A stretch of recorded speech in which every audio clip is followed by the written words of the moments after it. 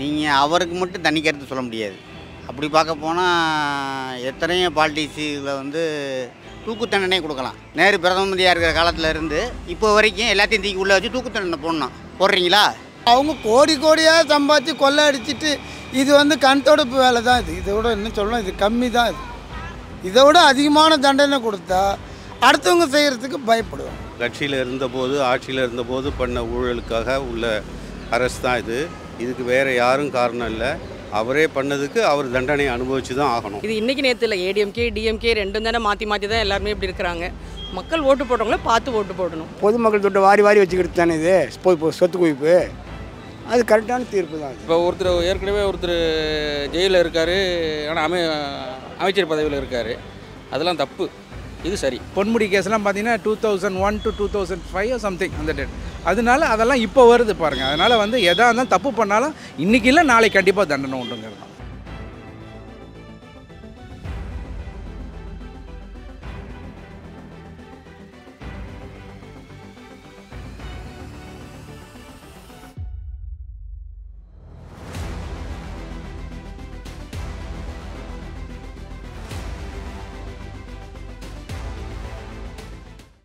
இப்போ பொன்முடியை வந்து அரெஸ்ட் பண்ணும் அப்படின்னு ஒரு வாரண்ட் வந்திருக்கு. அதை பற்றி நீங்கள் என்ன நினைக்கிறீங்க?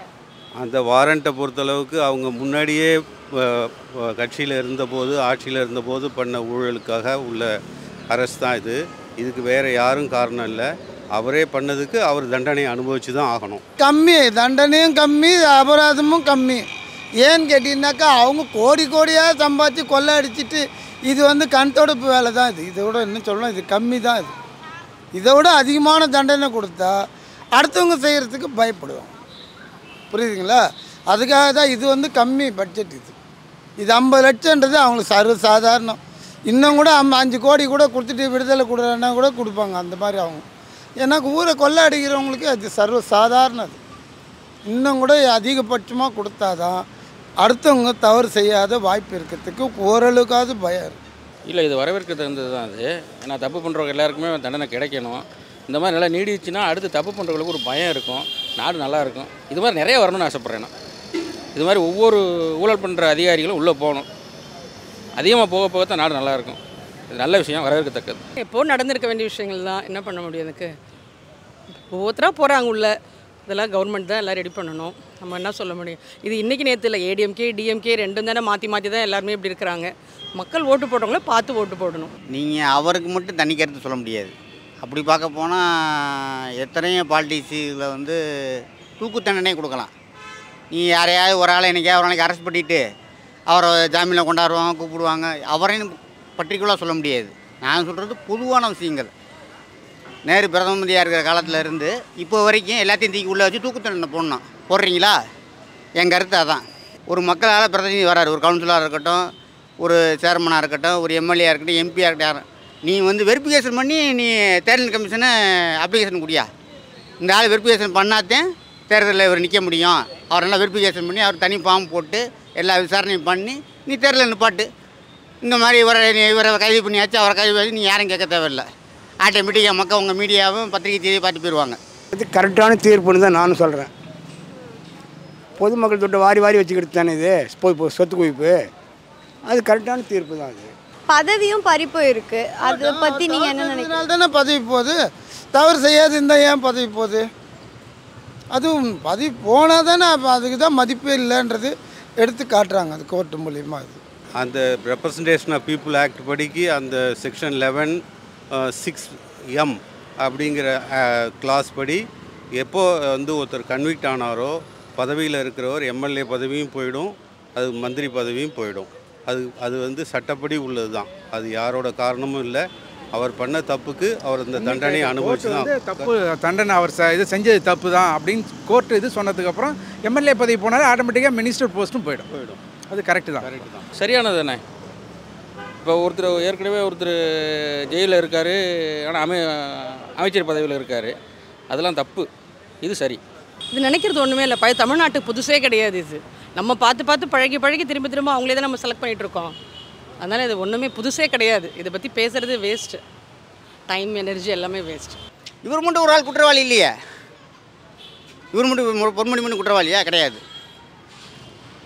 இந்தியாவில் இருக்க எத்தனை மாநிலம் இருக்குது இருபத்தெட்டு மாநிலம் இருக்குது அத்தனை மாநில பிரதிநிதியும் அரெஸ்ட் பண்ணுங்கள் உள்ளே வைங்க வழக்கு போடுங்க கோர்ட்டு போடுங்க. கோர்ட்டு எதுக்கு இருக்குது உச்சநீதிமன்றம் எதுக்கு இருக்குது பத்திரிக்கை துறை இருக்குது எல்லாத்தையும் உள்ளே வைங்க.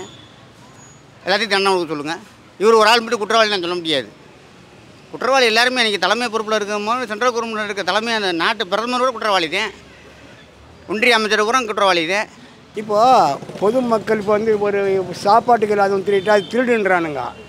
இது மாதிரி வாரி வச்சுக்கிறவன் ஊழல்ன்றான் அது அதுவே தப்பு. அவன் திருடிட்டான். அவ்வளோதான் அதான் நியாயம் தர்மமும். திருடிட்டான் அவன். பொதுமக்கள் தொட்டு திருடிட்டான். ஊழல்ன்றது இல்லை இது திருடிட்டான் அவன் அவ்வளோதான் அதான் தர்மமும் கூட. இப்போ வந்து லைன்னா இந்த மாதிரி வந்துக்கிட்டே இருக்குது இதுக்கு முன்னாடி செந்தில் பாலாஜி கேஸ் வந்தது இப்போ இவர் கேஸ் வந்தது. ஸோ நீங்கள் இது எப்படி பார்க்குறீங்க அவர் என்ன? செந்தில் பாலாஜி கேஸு வேறு. அது வந்து அவங்க வந்து பண்ண இது வேறு. அது வந்து இன்னும் அவர் என்கொயரியில் தான் இருக்கார்.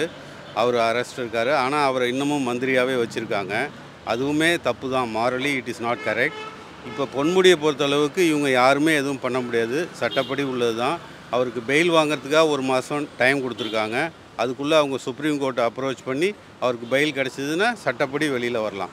எல்லாருமே சட்டத்துக்கு முன்னாடி எல்லோரும் சமம். நம்ம எப்படி சட்டத்துக்கு முன்னாடி சமமோ அதே மாதிரி மந்திரியும் அது மாதிரி தான் யாராக இருந்தாலும் சட்டத்துக்கு முன்னாடி சமம் தான் அதான் தப்பு பையன் ஏன் பாலா நீங்கள் ஒவ்வொரு சொல்கிறீங்களா ஒவ்வொரு கேஸாக அரெஸ்ட் ஆகிறாங்கன்னு தப்பு பண்ணால் தண்டனைங்கிறது இப்போ எல்லாருக்கும் தெரிய ஆரம்பிச்சிருக்கேன் இதுதான் கரெக்ட் மெத்தட் யார் தப்பு பண்ணாலும் தண்டனை வரும். முன்ன கொஞ்சம் தள்ளி போகுமே தவிர வராமல் இருக்காதுங்கிறதுக்கு இது ஒரு ப்ரூவ் ஏன்னா இதெல்லாம் பத்து வருஷம் முன்னாடி உள்ள கேஸு பொன்முடி கேஸ்லாம் பார்த்தீங்கன்னா two thousand one to two thousand five something அந்த டேட் அதனால அதெல்லாம் இப்போ வருது பாருங்கள் அதனால் வந்து எதாக இருந்தாலும் தப்பு பண்ணாலும் இன்றைக்கி இல்லை நாளைக்கு கண்டிப்பாக தண்டனை உண்டுங்கிறது சட்ட திட்டங்கள்லாம் சட்டத்திட்டங்கள்லாம் சரியில்லை. யாரும் எதுவும் பயம் இல்லை. எப்படி இருந்தாலும் தப்பிச்சும் போயிடலாம். பணத்தை கொடுத்து இப்போ ஒரு இப்போ ஐம்பது கோடி பத்து கோடி இருபது கோடி கொள்ளை கொள்ளடிக்கிறாங்க அதில் ரெண்டு அஞ்சு பத்து செலவு பண்ணாக்கா வக்கீல் கோர்ட்டுக்கு யார் யார் கொடுக்கணுமோ கொடுத்து தப்பிக்கிறதுக்கு வழி செய்கிறாங்க அதை தான் சொல்கிறேனே முதல்லையே பொன்முடி விஷயத்திலே சொல்கிறேனே இது வந்து கம்மி கம்மி அதாவது குறைஞ்சபட்ச தண்டனை இது. இன்னும் அதிகமாக கொடுத்தா தவறு மேலே தவறு வராத இருக்கிறதுக்கு கண்டிப்பாக ஓரளவுக்காக வாய்ப்பு புகார்கள் வந்து எல்லாருக்குமே எல்லாருக்கும் தண்டனை கிடைக்கணும். தண்டனை கிடைச்சா தப்பு பண்ணலாம் தண்டனை கிடைச்சா தான் அடுத்து தப்பு பண்ணுற மாட்டாங்க அதுக்கு ஒரு பயம் இருக்கும். தப்பு பண்ணவும் எப்பயுமே தண்டனை தண்டனைக்கு வர வேண்டியது தானே தப்பு பண்ணிடுறானுங்க. தண்டனை தான் அது. தண்டனை கொடுத்து தான் ஆகணும். மந்திரியாக இருக்கட்டும் யாராக இருக்கட்டும் முதல்வராக கூட இருக்கட்டும். தப்பு பண்ண தண்டனை தானேம்மா. அது நியாயமானது தான். யார் அந்த அப்படி இருந்தால் தான் நம்ம நாடு நிலைக்கும்.